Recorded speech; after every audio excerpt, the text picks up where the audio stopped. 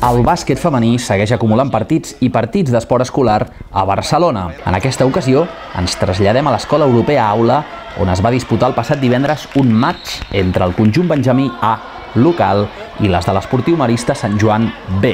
Les visitants no ho tenien gens fàcil, el seu rival és exigent, però el partit va començar força igualat i amb dos equips van mantenir el marcador amb pocs punts de diferència fins a la mitja part. L'escola aula superava les visitants, però l'esportiu Maristes li trepitjava els talons. A la represa, les locals guanyaven 33 a 28. Podia passar qualsevol cosa, però el cinquè període va ser el més decisiu del partit.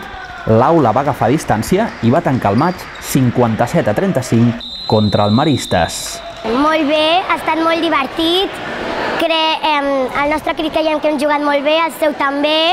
Estàvem una mica nervioses, però al, al, al final ens hem divertit molt i ha estat molt bé.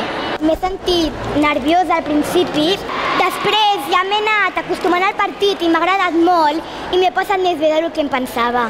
Bueno, al principi bastant nervioses, hem començat fluixes, però hem acabat avançant i jo crec que ha estat bé. M'agradaria més atacar millor perquè som molt bona en defensa però atacant no tant. Empezamos la, la temporada siendo de, iniciación, con los conceptos muy básicos.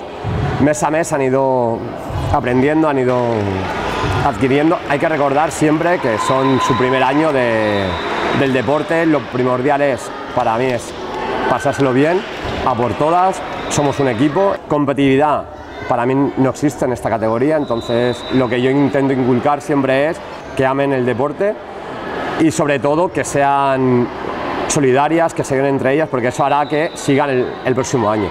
En el partit destacat d'aquesta setmana hi ha un factor rellevant pel que fa als valors a l'esport. Tot i que l'aula va guanyar a les maristes, crida l'atenció la seva puntuació pel que fa al semàfor de valors. El CEP situa les jugadores de l'aula en primera posició de la classificació paral·lela amb un total de 8 punts i en la segona posició a les maristes amb 6,5.